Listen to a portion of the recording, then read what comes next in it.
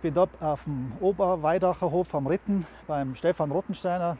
Das ist der innovativste Jungbauer des Jahres, der Wagyu-Rinder züchtet und als solcher von der, vom Wolfsmanagement der Landesregierung direkt betroffen ist. Letzte Woche hat es die erste Wolfsattacke gegeben und viele Rittner fragen sich, ob die, äh, die Wolfspolitik der Landesregierung jetzt auch ihr Gebiet bedroht. Die Landwirtschaft ist gefährdet, es ist der Naherholungsraum der, der Städter und äh, Touristen gefährdet.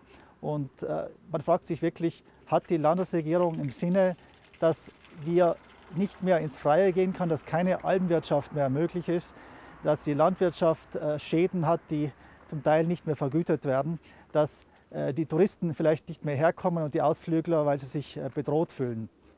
Ja, ich bin da eigentlich dabei, mir äh, eine Existenz aufzubauen mit der Wagezucht. Äh, seit sechs Jahren jetzt mittlerweile. Es funktioniert soweit ganz gut. Die Freilandhaltung funktioniert auch super. Die Rinder sind allem gesund, wenn sie im Freien sind.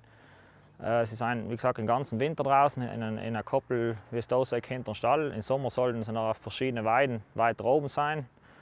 Und äh, der Unterschied äh, beim Wagyu-Rind ist sicher, dass die Rinder noch sehr viel wertvoller sind. Also da reden wir von, von einem kleinen Kalb von 3.000 Euro aufwärts, kann auch dann bis zu 10.000 kosten.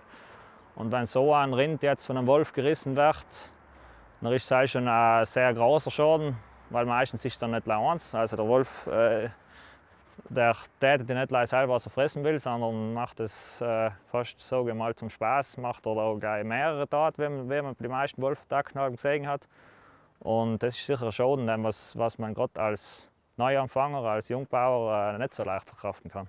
Selber haben wir offenbar trotz angeblicher Autonomie überhaupt nichts zu sagen und müssen datenlos zuschauen, äh, wie äh, Tiere, Nutztiere und Menschen immer mehr in Gefahr geraten.